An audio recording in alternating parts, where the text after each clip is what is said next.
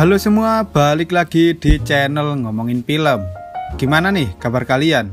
Jangan lupa untuk selalu menjaga kesehatan kalian ya rek.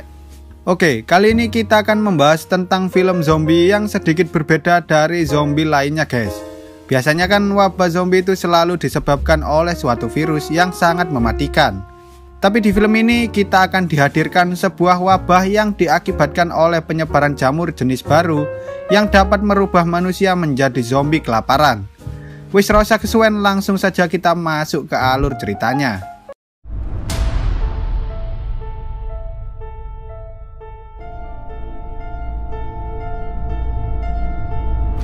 Film ini mengisahkan tentang dunia yang saat ini sedang dilanda oleh sebuah wabah jamur pemakan otak yang dapat merubah manusia menjadi zombie atau biasa disebut sebagai hangris.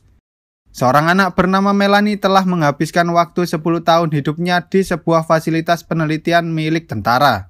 Setiap pagi, Melanie dan anak-anak lainnya dibawa oleh para tentara dalam kondisi terikat untuk menghadiri sebuah kelas di mana mereka akan diajarkan sesuatu oleh para tentara tersebut. Mereka merupakan anak-anak yang lahir dari para ibu yang sudah berubah menjadi zombie. Di sana mereka digunakan sebagai objek penelitian oleh para dokter untuk mencari vaksin dari wabah zombie tersebut. Setelah kembali dari kelas, mereka pun diberi makan dengan semangkok cacing besar Alaska. Suatu ketika saat Melanie sedang beristirahat, seseorang wanita parubaya bernama Dr. Caroline Caldwell datang untuk menanyai beberapa hal pada Melanie. Ia juga menyuruh Melanie untuk menyebutkan salah satu angka dari angka 1 hingga angka 20. Melanie pun menjawab dengan angka 13. Setelah mendengar jawaban Melanie, Dr. Caldwell kemudian pergi dari tempat itu. Keesokan harinya, seperti biasa, Melanie dibawa oleh para tentara menuju ke kelas. Tapi sepertinya salah satu anak yang ada di ruangan nomor 13 tak datang ke kelas lagi.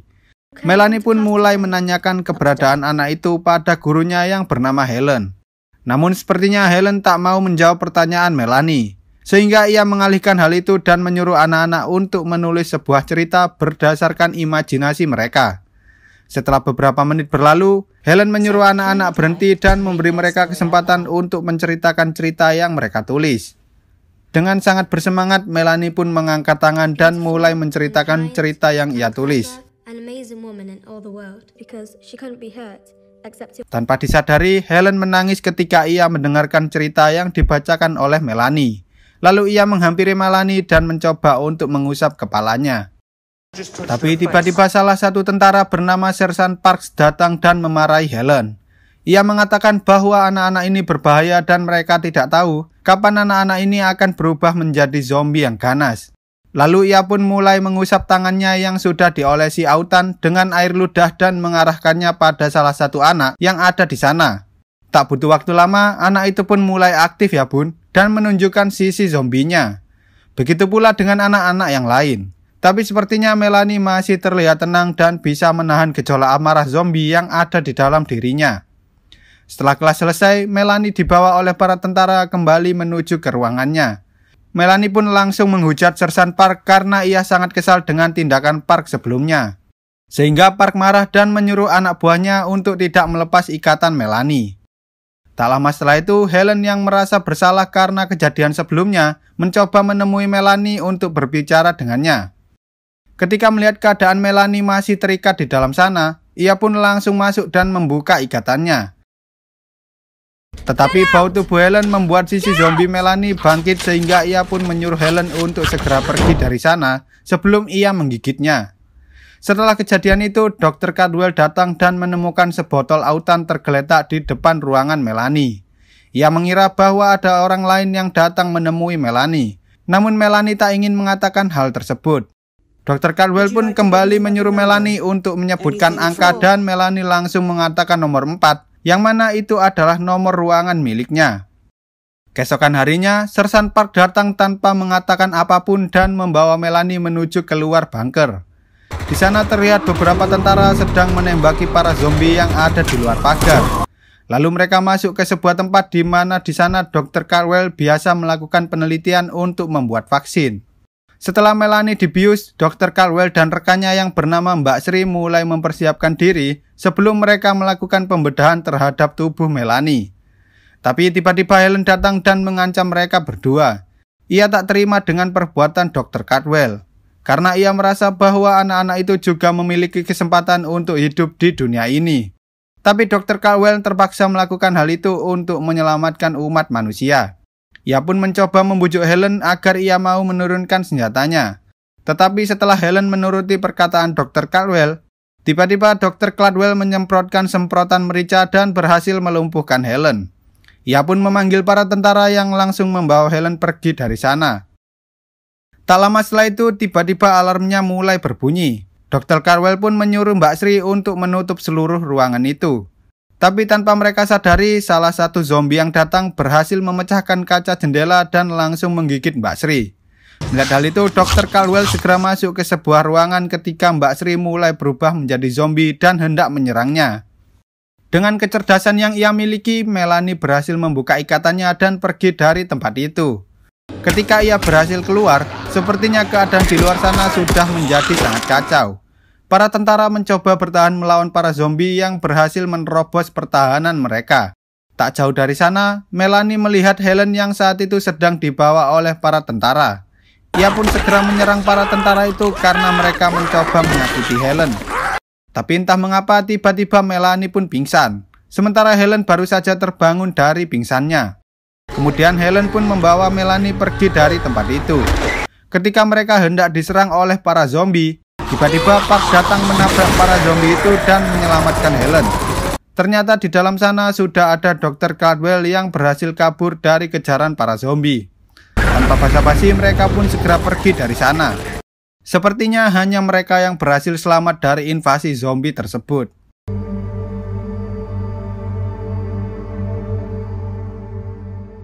Di tengah perjalanan mereka memutuskan untuk berhenti dan mencoba menghubungi markas lainnya.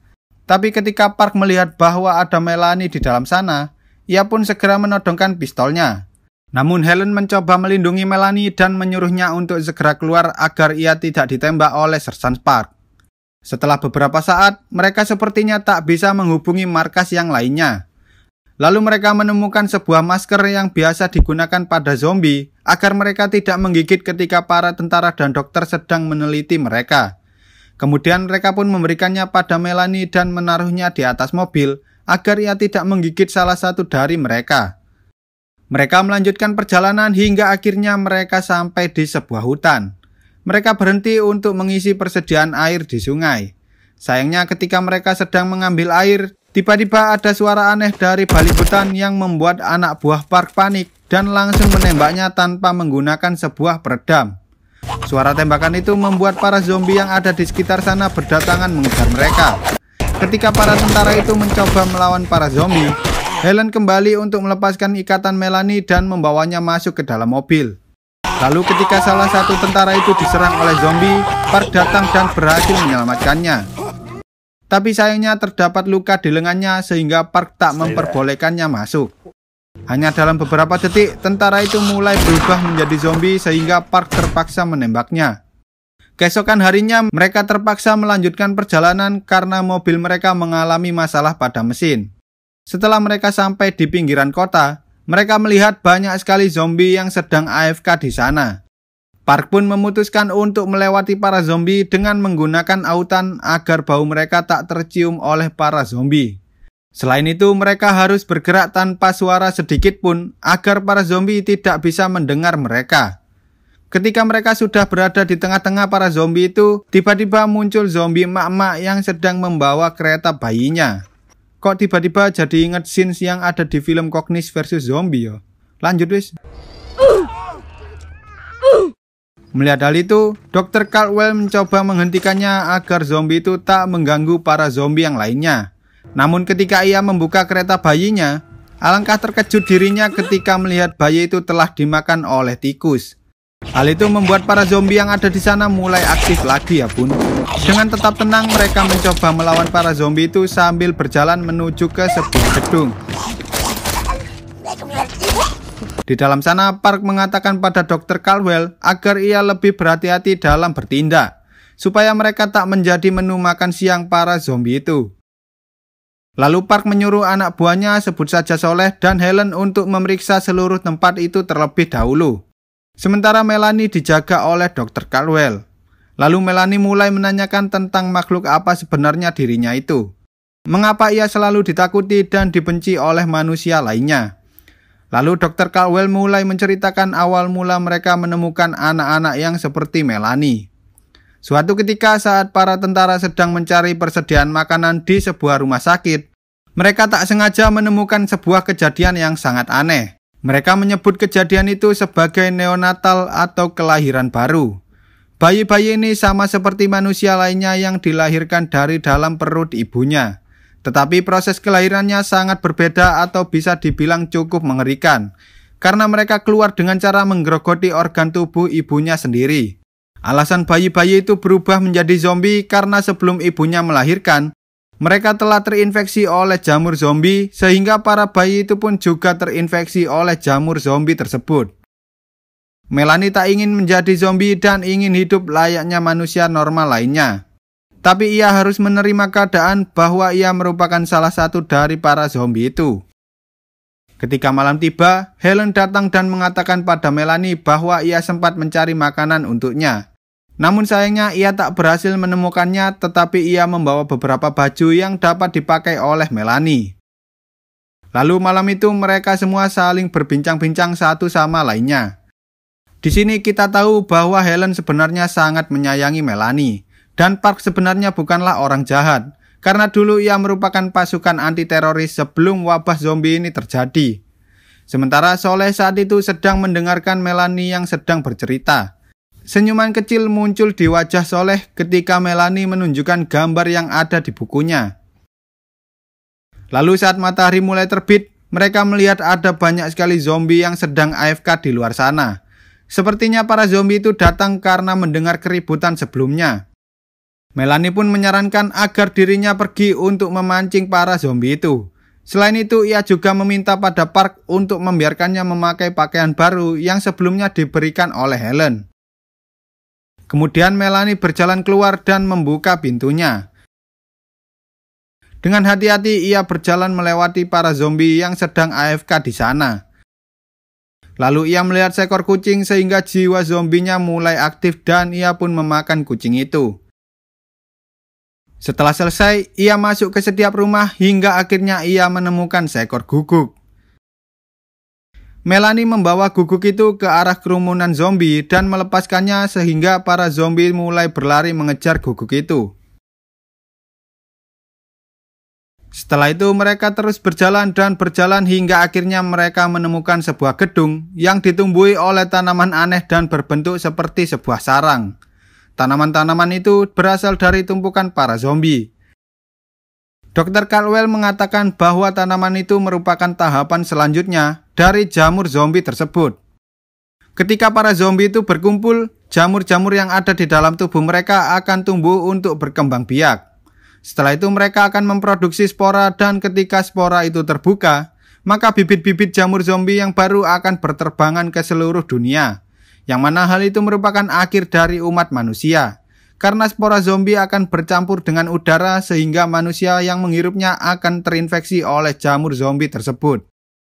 Tak jauh dari sana, mereka menemukan sebuah laboratorium mobile yang dapat digunakan untuk beristirahat dan melakukan penelitian. Tempat itu juga dilengkapi dengan keamanan yang cukup baik, sehingga para zombie tak bisa masuk begitu saja. Mereka pun mulai menyelidiki tempat itu. Tapi karena mereka tak bisa menemukan persediaan makanan, Soleh memutuskan untuk mencari makanan, sementara Park berusaha memperbaiki mesin truk itu. Tapi tiba-tiba Melanie mulai kelaparan. Mereka pun membebaskannya dan membiarkannya pergi untuk mencari makanan. Setelah mencari ke sana kemari, Melanie akhirnya mendapatkan seekor burung. Setelah ia memakan burung itu, Melanie pun pergi ke sebuah toko buku. Di sana ia melihat ada beberapa zombie bocil yang sedang berkumpul di dalam sana. Lalu tiba-tiba salah satu zombie bocil datang. Ia seperti mengatakan sesuatu dan mereka pun pergi dari tempat itu. Sepertinya para zombie bocil itu menemukan sebuah makanan. Melanie pun panik karena ia takut bahwa Soleh saat ini sedang dalam bahaya. Melanie kembali dan mengatakan pada Park tentang para zombie bocil tersebut. Di sisi lain, Soleh menemukan sebuah toko dan ia pun masuk ke dalam sana tanpa membawa peralatannya. Lalu ketika Park mencoba menghubungi Soleh, mereka tak mendapat jawaban karena Soleh meninggalkan tasnya di luar. Ketika mereka hendak bersiap-siap untuk mencari Soleh, tiba-tiba radionya berbunyi dan itu adalah orang-orang dari markas lainnya. Tetapi sepertinya markas itu bernasib sama dengan markas mereka sebelumnya, yaitu diserang oleh para zombie. Mendengar hal itu, mereka pun segera pergi untuk mencari Soleh. Sementara itu, Soleh yang sedang asik makan snack tiba-tiba didatangi oleh salah satu zombie bocil. Tapi ketika Soleh mencoba mengikuti zombie bocil itu, ia diserang dan tanpa basa-basi ia pun dimukbang rame-rame oleh para zombie bocil itu. Di sisi lain, Melani dan lainnya berhasil menemukan tas milik Soleh yang tertinggal di luar. Mereka mencoba masuk ke dalam, tapi ternyata para zombie bocil itu sudah tidak ada lagi di sana, dan tubuh Soleh sudah tergeletak dengan kondisi yang sangat mengenaskan. Lalu saat mereka keluar dari sana, terlihat para zombie bocil itu sudah menunggu di luar. Melani pun mencoba berkomunikasi dengan mereka. Tapi sepertinya pemimpin dari para zombie bocil itu mengajak duel Melani, sehingga dengan terpaksa ia pun menerima tantangan itu dan mereka pun mulai berduel.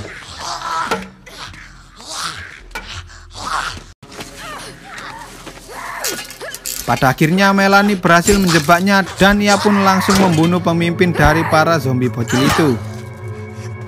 Sementara zombie-zombie bocil lainnya tak berani melawan Melanie karena mereka mengira bahwa Melanie lebih kuat dari yang lainnya.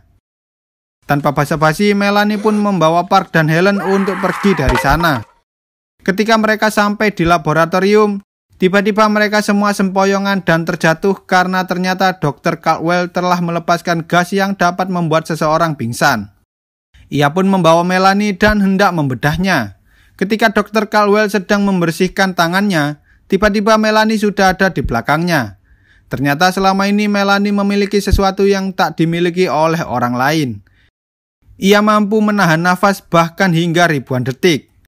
Artinya hal itu merupakan salah satu evolusi di mana melani dan jamur yang ada di dalam tubuhnya saling bergantungan satu sama lain. Istilah ini biasa kita sebut sebagai simbiosis mutualisme. Dr. Caldwell mencoba meyakinkan Melanie agar ia mau mengorbankan dirinya demi Helen dan kehidupan umat manusia lainnya. Karena tak lama lagi sarang zombie itu akan menyebarkan sporanya. Dr. Caldwell telah meneliti salah satu spora yang dibawanya dan mendapati bahwa tanaman itu sangat rentan terhadap panas dan suhu lembab. Hanya dengan satu percikan api saja, maka kehidupan manusia di dunia ini akan segera tamat. Mendengar hal itu, Melanie pun menanyakan nasib para zombie bocil jika ia rela berkorban demi para manusia. Tapi setelah mengamati jawaban Dr. Caldwell, ia mengetahui bahwa Dr. Caldwell tak peduli dengan para zombie bocil tersebut. Hal itu diperkuat dengan jawaban Dr. Caldwell bahwa ia memang tak peduli dengan zombie-zombie bocil lainnya. Mendengar perkataan Dr. Caldwell, Melanie pun mengatakan bahwa ia tak ingin mengorbankan dirinya hanya untuk umat manusia yang selalu rakus dan tak peduli dengan makhluk lainnya. Lalu ia menyuruh Dr. Caldwell untuk tetap di dalam sana karena ia hendak membakar sarang zombie tersebut. Namun Dr. Caldwell justru mengikuti Melanie sehingga ia pun dimukbang oleh para zombie bocil yang ada di sekitar sana. Tanpa basa-basi, Melanie mulai menyalakan korek dan membakar sarang zombie itu. Seketika api menjalar dengan cepat menyebabkan spora-spora itu pecah dan mulai menyebarkan bibit-bibit jamurnya. Ketika Melanie hendak kembali, ia mendapati Sersan Park telah keluar dari laboratorium. Ternyata ia datang hanya untuk memastikan bahwa Melanie baik-baik saja. Mengetahui bahwa dirinya akan berubah menjadi zombie, Park memberikan senjatanya dan menyuruh Melanie untuk menembak dirinya ketika ia berubah menjadi zombie. Di akhir hayatnya, Park mengatakan bahwa terakhir kali ia melihat anaknya ketika anaknya masih berumur 7 bulan. Ia sangat senang ketika melihat sosok bayi mungil yang cantik itu. Park juga berharap bahwa anaknya masih hidup di suatu tempat yang jauh dari para zombie. Tiba-tiba Park mulai berubah menjadi zombie dan Melanie pun langsung menembaknya. Ia sangat sedih karena sebenarnya ia tak ingin kehilangan Park dan lainnya. Di akhir film, ketika Helen terbangun dari tidurnya, ia mulai menyiapkan semua alat yang digunakan untuk mengajar. Sementara di luar sana, Melanie bertugas menenangkan para zombie bocil yang lainnya. Mereka pun mulai belajar tentang arti kehidupan di dunia ini dan cerita pun tamat. Gimana nih menurut kalian? Kalau menurut Mimin sih, film ini memiliki jalan cerita yang cukup menarik. Karena mengangkat film bertemakan tentang zombie dengan konsep dan ide baru yang berbeda dengan film-film zombie lainnya. Tapi sayangnya hingga kini masih belum ada sequel lanjutan dari film tersebut. Ya semoga aja nanti ada yang mau bikin cerita kelanjutannya lah ya. Oke lah, sekian dulu untuk video kali ini. Semoga kalian semua terhibur. Jangan lupa tekan tombol subscribe lalu nyalakan loncengnya agar kalian tidak ketinggalan dengan video-video terbaru dari channel ini. Mimin pamit undur diri dan sampai jumpa di video selanjutnya.